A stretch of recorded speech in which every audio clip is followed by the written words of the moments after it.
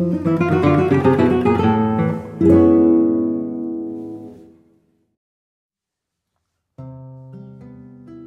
Andrea. As far as I know, you are taking part in the team, in the organization team of the International Guitar Festival in Nürtingen since many years. And have you special responsibilities?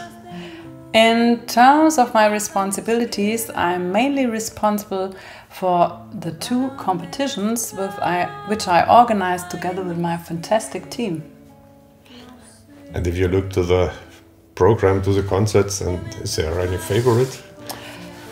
As I like to sing Brazilian songs myself, I'm very much looking forward to the Brazilian night at a final concert, which will be presented by, among others, Badi Assad. I'm sure that will be great. And you? During the festival week, I'm responsible for more or less all or nothing.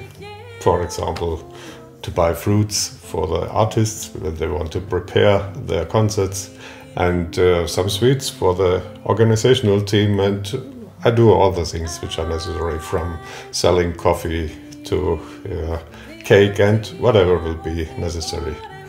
But especially, I'm glad to meet you.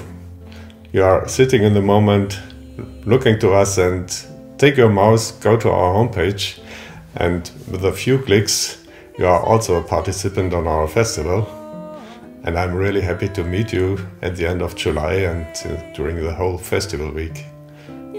Join us.